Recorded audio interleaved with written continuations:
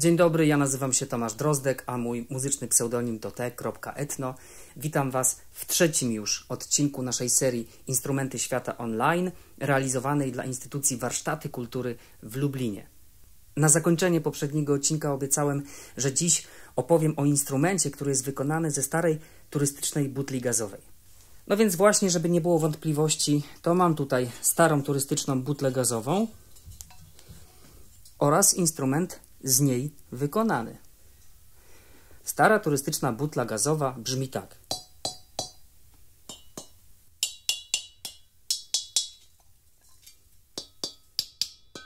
Długo by można opisywać walory dźwiękowe, ale można też w skrócie powiedzieć szału nie ma.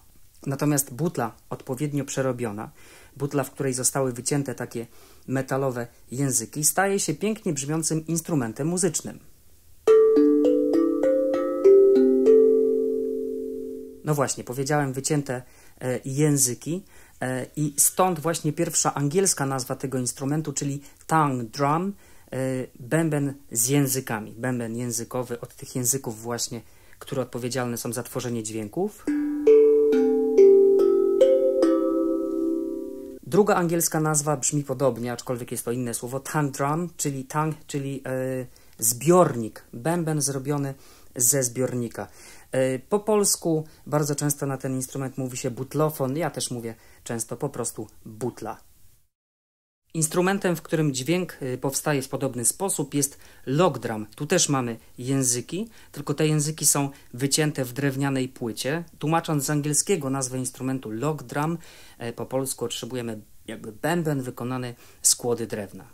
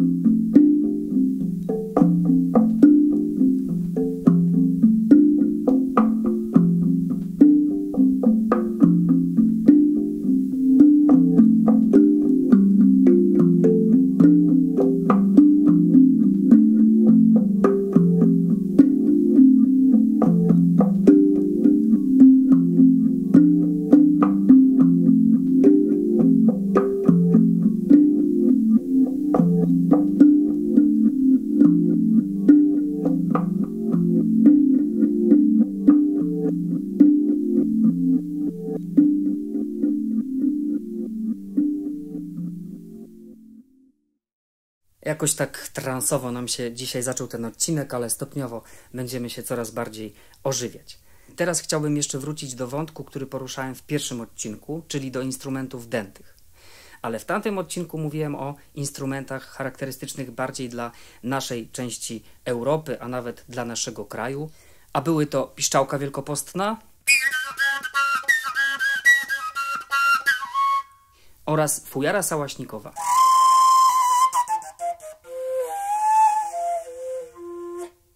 Ktoś nie widział pierwszego odcinka, to zapraszam, żeby sobie go znaleźć tutaj w dziale filmy i nadrobić zaległości. W tych fletach pasterskich, które są również polskimi tradycyjnymi instrumentami ludowymi, mamy taki element, który nazywa się gwizdek. Gwizdek działa tak, że właściwie nie potrzeba żadnych umiejętności, wystarczy, że dmuchniemy i jakiś dźwięk się wydobędzie. Dzisiaj natomiast chciałbym powiedzieć o dwóch fletach z nieco odleglejszych zakątków świata. Będzie to japoński flet shakuhachi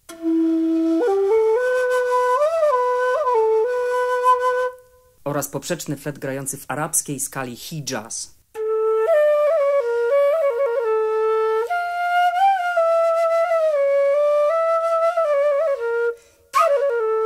I w tych fletach wydobycie dźwięku już nie jest taką prostą sprawą. Zobaczmy najpierw, jak wygląda ustnik w japońskim flecie shakuhachi. Nie mamy tutaj żadnego gwizdka. Jedna z krawędzi została tylko zeszlifowana. I właśnie sposób gry na tym instrumencie polega na tym, że w tę zeszlifowaną krawędź trzeba trafić odpowiednim strumieniem powietrza. Samo tylko dmuchanie y, nie wydobędzie z niego fletowego dźwięku. Żeby ten dźwięk wydobyć, trzeba odpowiednio ułożyć usta pod odpowiednim kątem, przystawić instrument, z odpowiednią siłą dmuchać i tak dalej.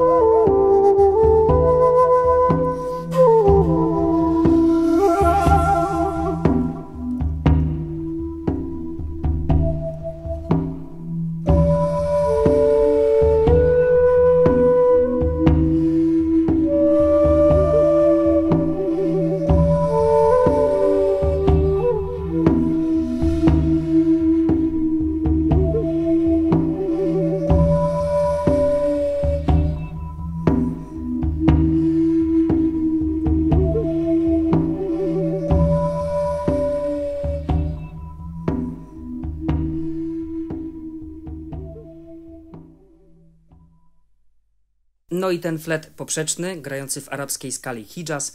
Jak to we flecie poprzecznym, mamy tutaj tylko taki otworek. I też samo takie zwykłe dmuchanie w ten otworek raczej spektakularnego dźwięku nie wyprodukuje. We fletach poprzecznych trzeba w ten otworek trafić odpowiednim słupkiem powietrza. A teraz arabski klimat w skali Hijaz, ale mam też dla Was tutaj wyzwanie rytmiczne. Utwór, który za chwilę zaprezentuję, będzie zagrany w metrum 7 ósmych. Co to znaczy? Może nie będę teraz dokładnie tłumaczył. Pokażę Wam tylko, że żeby wystukać tutaj rytm, trzeba w głowie liczyć do siedmiu w ten sposób. Raz, dwa, raz, dwa, raz, dwa, trzy. Raz, dwa, raz, dwa, raz, dwa, trzy. I klaszczemy tylko na raz. Raz, dwa, raz, dwa, raz, dwa, trzy. Raz, dwa, raz, dwa, raz, dwa, trzy. To ja zagram na flecie hijaz, a Was proszę o klaskanie do rytmu w metrum 7 ósmych. Raz, dwa, raz, dwa, raz, dwa, trzy. Raz, dwa, raz, dwa, raz, dwa, trzy. I w szybkim tempie.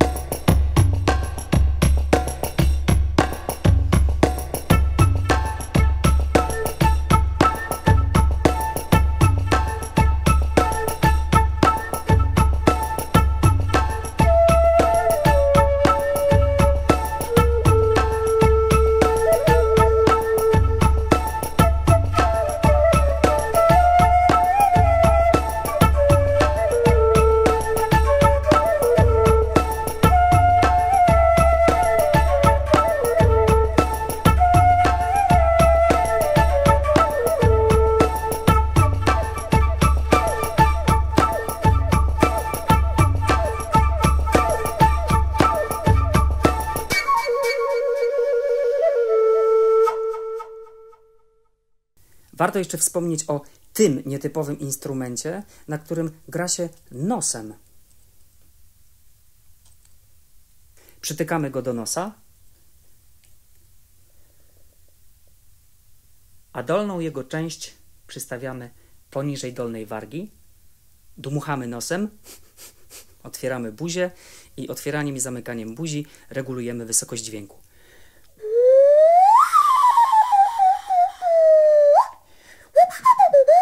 Można na nim robić różne efekty dźwiękowe, ale da się na nim też grać melodię. Teraz znowu chciałbym Was zaprosić do wspólnego muzykowania. Ja zagram na flecie nosowym taką tradycyjną piosenkę ludową o czerwonym jabłuszku, a Was zapraszam do śpiewania.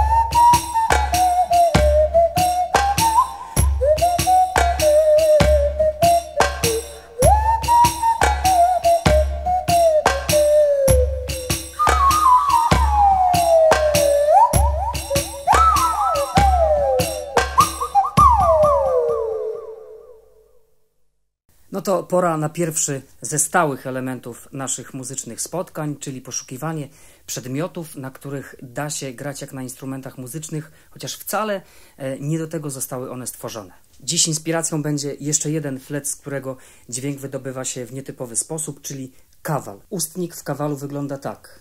Po prostu taka rurka, która ma zeszlifowane krawędzie. Żeby na kawalu zagrać, trzeba ten ustnik przystawić do ust pod odpowiednim kątem, mniej więcej 45 stopni.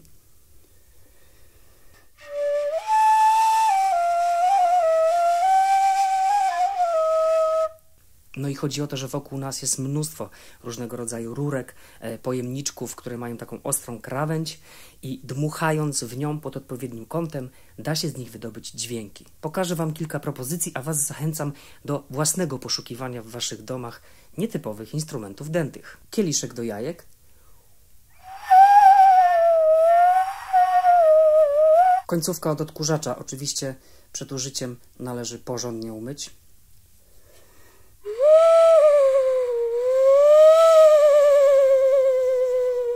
Rolka z folią stretch.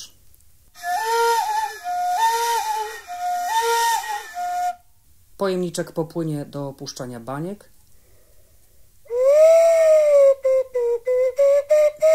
Zatyczka od płynu do dezynfekcji. Taki flakonik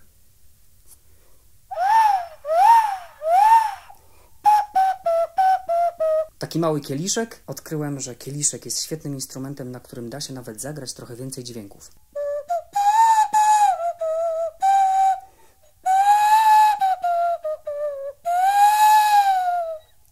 że trzeba szukać, szukać, próbować, aż w końcu znajdziecie coś, na czym uda się zagrać melodię. Przypominam, cały czas szukamy tutaj, pod jakim kątem należy przystawić tę krawędź do ust.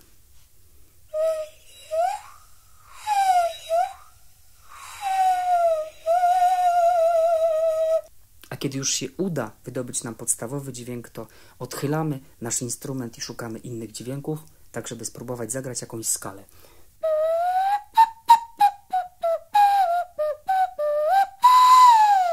Zadęcie też jest bardzo ważne. Jeśli chcemy wyższy dźwięk wydobyć, trzeba mocniej dmuchnąć.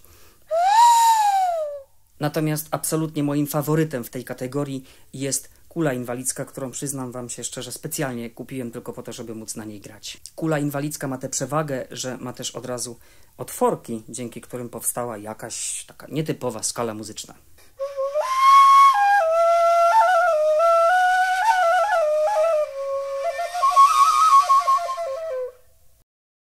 A teraz drugi ze stałych punktów naszych muzycznych spotkań, czyli tworzenie instrumentu z jakichś przedmiotów. Dziś wybrałem słomkę. Po pierwsze, tu gdzie jest ta krótsza część słomki, musimy zgnieść zębami końcówkę.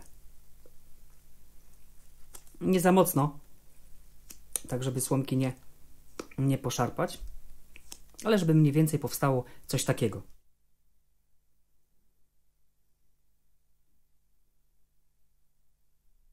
Kolejny krok to obcięcie w trójkątnym kształcie tej końcówki.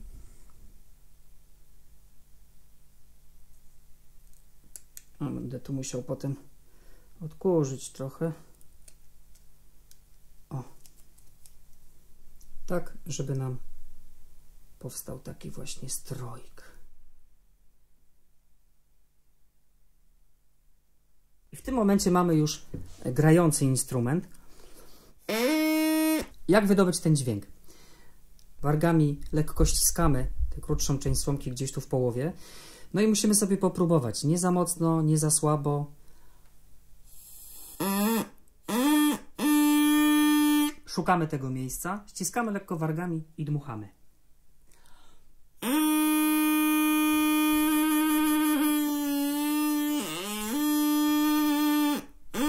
E, może róbmy to tak, żeby nikogo nie denerwować obok nas. No i teraz przyszła pora na nastrojenie instrumentu. Żeby to zrobić, musimy wyciąć otworki, tak jak na przykład w sześciootworówce, o której mówiłem wcześniej. Robimy to w ten sposób, że chwytamy palcami, lekko ściskamy, lekko ściskamy słomkę i wcinamy się nie za mocno,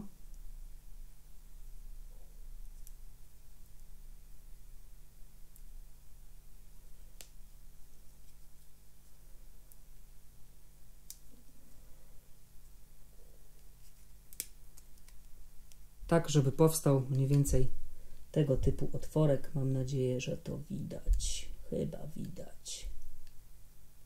No i wycinamy więcej takich otworków. Ja zrobię wersję pięciootworową.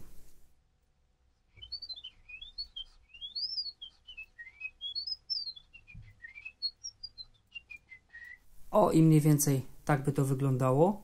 E, otworki jak coś można troszeczkę powiększyć, jeśli się okaże, że e, nie satysfakcjonują nas te dźwięki. Najlepiej spróbować kilka razy ten instrument wykonać i za każdym razem coś ulepszyć, poeksperymentować, e, rozstawić otworki w różnych miejscach. Kombinujcie, zapraszam do zabawy. No a kiedy już mamy gotowy instrument, uczymy się na nim grać.